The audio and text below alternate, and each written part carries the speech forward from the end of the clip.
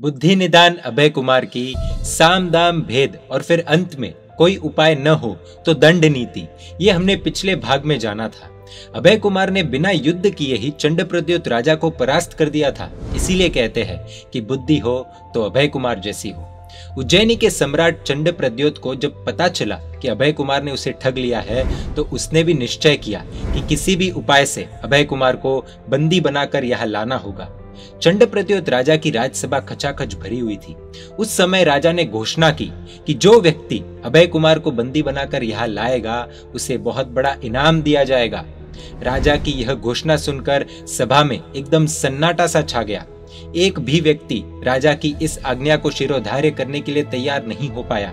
किसी ने राजा को सलाह देते हुए कहा कि राजन बुद्धि निदान ऐसे अभय कुमार को बंदी बनाना कोई आसान काम नहीं है। यह तो एरावत हाथी के दांत उखाड़ने के समान है, असंभव कार्य है। आकाश में रहे तारों को तोड़ना आसान है, परंतु अभय को बंदी बनाना अशक्य, यानी असंभव कार्य है। लोहे के चने चबाना आसान है, परंतु अभय को अपने जाल में फंसाना दुष्कर कार्य है। चारों प्रकार की बुद्धि के भंडार अभय कुमार को बंदी बनाने की बात बिल्कुल असंभव सी लगती है। काफ़ी समय बीतने के बाद राज्यसभा में से रत्न मंजरी नाम की वेश्या खड़ी हुई और बोली कि, राजन, इस भगीरथ कार्य के लिए आप मुझे आज्ञा करें। मैं शीघ्र ही अभय कुमार को बंदी बनाकर आपकी सेवा में उपस्थित कर दूँगी। वैश्या के इस निवेदन को सुनकर राजा का मन प्रसन्नता से भर गया। सभा में बैठे लोग मनोमन तर्क वितर्क करने लगे कि क्या यह वैश्या सचमुच ही अभय कुमार को बंदी बना लेगी? चंड प्रत्युत राजा ने उस वैश्या को कहा कि तुम अगर अपनी बुद्धि से, चतुराई से अभय कुमार को बंदी बनाओगी तो तुम्हें बहुत बड़ा इनाम दिया जाएगा। इस कार्य की सफलता के लिए तुम्हें किसी भी वस्तु या धन की ज़रूरत पड़े। तो उसकी पूर्ति राजकोष में से की जाएगी। रत्न मंजरी वैश्या ने राजा की आज्ञा शिरोधार्य की। अपने भवन में आने के बाद वह वैश्या सोचने लगी कि अभय कुमार पुरुषों की बहत्तर कलाओं में निपुण है, तथा वह सतत, सर्वत्र सावधान रहता है। एक चुटकी मात्र में वह कैसी भी जटिल समस्याओं का समाधान कर लेता है, वह हाजिर जवाब है, ऐसे बुद्धिशाली को किस उपाय से ठगा जाए? इस प्रकार सोचते बिजली की तरह उसके दिमाग में एक विचार आ गया। हाँ अभय कुमार जैन धर्म का परम उपासक है। देव और गुरु के वचन में उसे अपूर्व श्रद्धा है। अपने समान धर्मी साधर्मिक को देखते ही वह किसी प्रकार की कसर नहीं छोड़ता है। उनकी भक्ति के लिए वह अपना सर्वस्व न्योछावर करने के लिए भी सदैव तैयार रहता है। अन्य किसी भी उपाय से अभय कुमार को ठगना संभव नहीं है, परंतु उसे धर्म बुद्धि से अवश्य ठगा जा सकता है। इस प्रकार विचार कर जैन धर्म के प्राथमिक आचार विचार और व्यवहार को जानने के लिए वह सुव्रता साध्वी जी के पास पहुँच गई। साध्वी जी को वंदन आदि कर वह नियमित रूप से उनका उपदेश आदि सुनने लगी। इस प्रकार निरंतर संपर्क से वह शावकोचित आचार विचारों में एकदम निपुण बन गई। सामायिक प्रतिक्रमण, प्रभु दर्शन, पूजा, गुरु वंदन, सुपात्र दान, भक्ष्य, अभक्ष्य, तीर्थ यात्रा की विधि आदि इन सब विषयों का उसने सूक्ष्मता से ज्ञान प्राप्त कर लिया और वह उन सब आचारों का पालन भी करने लगी। वह एक कपटी श्राविका बन गई। एक दिन राजा की आज्ञा प्राप्त कर, साथ में दो सखियों को साथ लेकर रथ में आरूढ़ होकर राजग्रही नगरी के बाहर पहुँच गई। उसने नगर के बाहर योग्य भूमि में अपना डेरा डाल दिया। उस कपटी श्राविका ने राजग्रही नगरी के मंदिरों की चैत्य परिपाटी प्रारंभ की।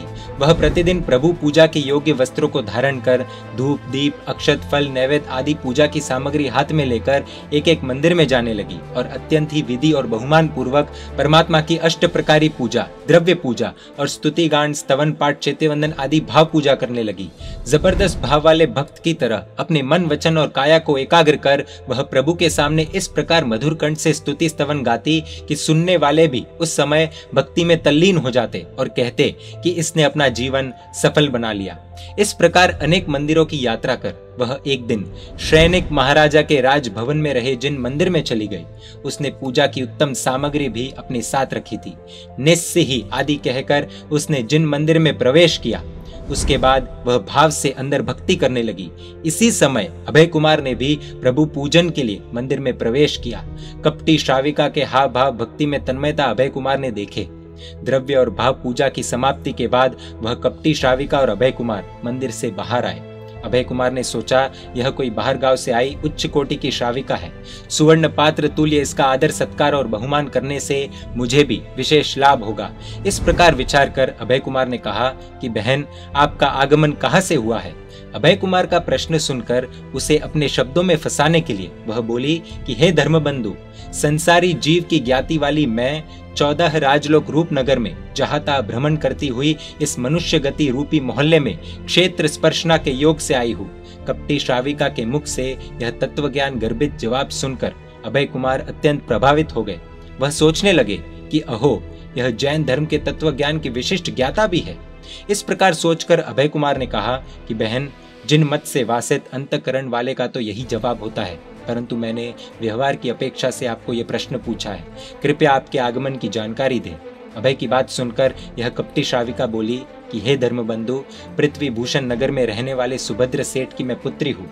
बचपन से ही साध्वी जी भगवंत के समागम के कारण मुझे जैन धर्म में तीव्र रुचि पैदा हुई है। क्रमशः मैंने यौवन वय में प्रवेश किया। मानव जीवन की सच्ची सफलता और सार्थकता संयम जीवन के स्वीकार और उसके पालन में ही है। यह सब कुछ जानते हुए भी मोह की पराधीनता के कारण वसुदत्त नाम के श्रेष्ठी पुत्र के साथ मेरा पाणी ग्रहण हुआ।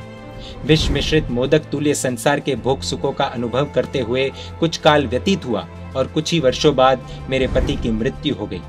पति के वियोग से मैं अत्यंत ही दुखी हो गई। मुझे कहीं भी शांति नहीं मिल पाई। आखिर माता तुल्य साध्वी जी भगवंत ने मुझे बोध देते हुए कहा कि वत्से, तू व्यर्थ ही खेत क्यों करती है? देवों को भी दुर्लभ, ऐसा मानव जीवन तुझे प्राप्त हुआ है। इस अमूल्य जीवन को व्यर्थ क्यों गवाती है? जिनेश्वर भगवंत के मार्ग को तूने जाना है, समझा है। अतः खेत करना योग्य नहीं है। पति की मृत्यु के बाद अब तू अपना शेष जीवन विशेष प्रकार से धर्म आराधना में व्यतीत कर सकती है। इस प्रकार साध्वी जी भगवंत के उपदेश को सुनने से खूब शाता मिली और तुच्छ संस्कारिक सुखों को भूलकर मैं धर्म आराधना में तत्पर बन गई। एक दिन मैंने साध्वी जी भगवंत के मुख से तीर्थ यात्रा की महिमा सुनी। उससे मेरे अंतर मन में तीर्थ भक्ति के लिए तीर्थ यात्रा की भावना पैदा हुई। मैंने अपने दिल की बात अपने पिता से कही।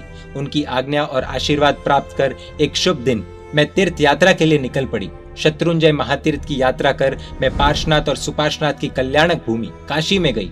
उस भूमि की स्पर्शना कर चंद्रावती गई। वहाँ चंद्र प्रभा स्वामी के दर्शन किए। चंद्रावती नगरी में मैंने सुना कि राजग्रही नगरी में जैन धर्म उन्नति के शिखर पर है। वहाँ महावीर प्रभु के परम भक्त, सैनिक, न्याय व नीति से राज्य का पालन कर रहे हैं। उनके ज्येष्ठ पुत्र अभय कुमार बुद्धि निदान है और जिन मत का अनुसरण करने वाले हैं। इस प्रकार राजग्रही नगरी और पिता पुत्र की प्रशंसा सुनकर मेरे दिल में भी इस नगरी की ओर आने की इच्छा हुई।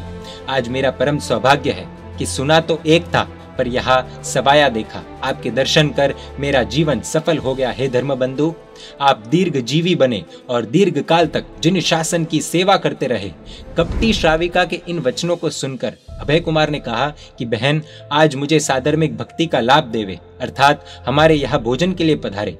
अभय कुमार के इस आमंत्रण को सुनकर उस कपटी श्राविका ने कहा कि ऐसे संसारिक संबंध से तो मैं किसी के घर भोजन के लिए नहीं जाती हूँ, परंतु आपने तो साधर्मिक के नाते आमंत्रण दिया है। आपके इस आमंत्रण को मैं कैसे ठुकरा सकती हूँ? परंतु आज तो मुनि सूरत स्वामी की कल्याणक भूमि की स्पर्शना करने से मैंने उपवास किया है।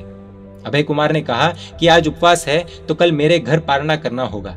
कपटी श्राविका बोली कि, मंत्रीश्वर, तपस्वी को पारने की चिंता नहीं करनी चाहिए।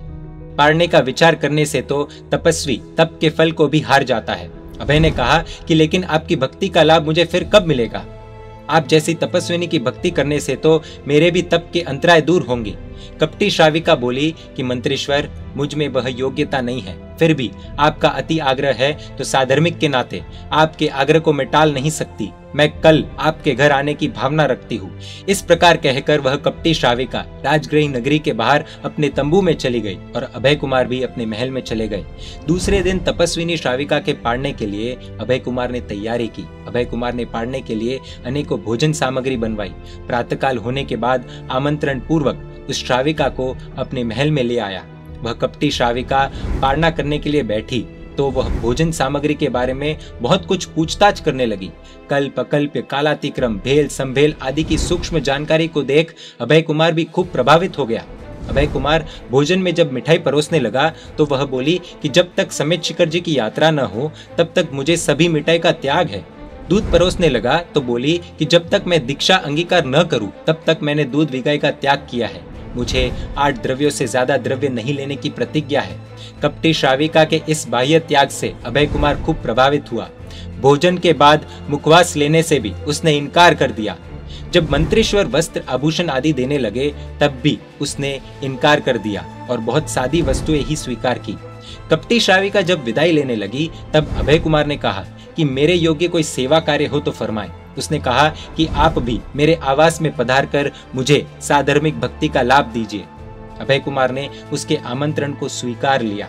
दूसरे दिन अभय कुमार उस कपटी श्राविका के तंबू में गया। वैश्या ने अभय कुमार को ले जाने के लिए सारा षड्यंत्र रच दिया था। अभय कुमार जैसे ही भोजन के लिए बैठा, उस श्राविका ने उत्तम द्रव्यों से उसकी खूब भक्ति की। उसके बाद उस भोजन के साथ चंद्रहास सूरा से मिश्रित जल भी पिला दिया। थोड़ी ही देर में अभय कुमार को नशा चढ़ने लगा। वे बेहोश होकर भूमि पर ढल पड़े।